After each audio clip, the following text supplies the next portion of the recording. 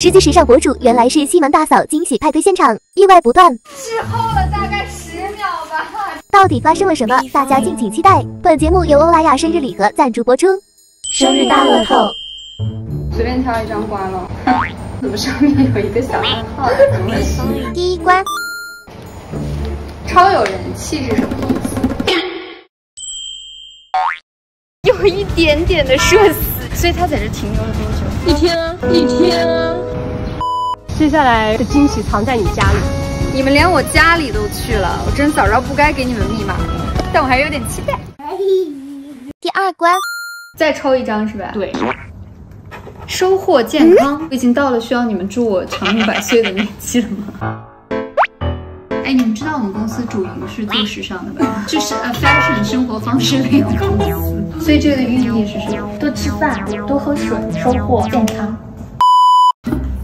今天真的是惊喜连连，还有第三轮是吗？第三关，我第一次拆礼物拆的这么恐惧。潮，来自时尚公司送来潮流前线的礼物，让我看一下有多潮流。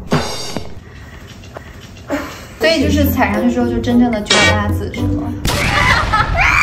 谢谢谢谢，我很喜欢很喜欢，这是我专门送礼物的箱子哈，很喜欢，谢谢。第四关，我的心情很复杂。谢谢欧莱雅的爱，我知道，我就知道你比他们强。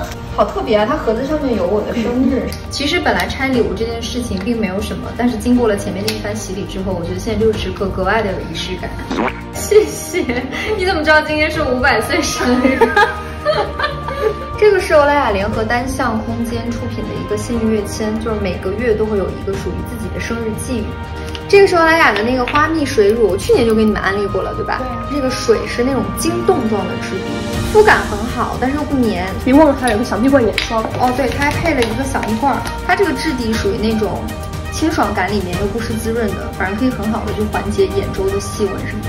还有一个礼盒是吧？卢浮宫透明双层杯。哦，好可爱啊！这才是正儿八经的杯子，好吧？比一比你们刚送我那个大瓷缸。还有一束鲜花，回去插在办公室桌上。你看看人家的礼物，护肤品、杯子、花都给准备到了。谢谢你们，也谢谢欧莱雅，让我提前度过了一个难忘的生日。每月一号，在巴黎欧莱雅官方微博的生日许愿池微博下留言，或者在小红书发布生日相关内容，并艾特官方账号，就有机会获得当月生日礼盒。